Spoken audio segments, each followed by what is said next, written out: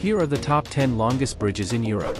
Number 9, Millau Viaduct in France with 8.06 km. Number 8, Normandy Bridge in France with 8.56 km. Number 7, Øresund Bridge in Denmark and Sweden has 12.345 km. Number 6, Vasco da Gama Bridge in Portugal has 12.345 km. Number 5, Sun Bridge in Denmark and Sweden has 14.78 km.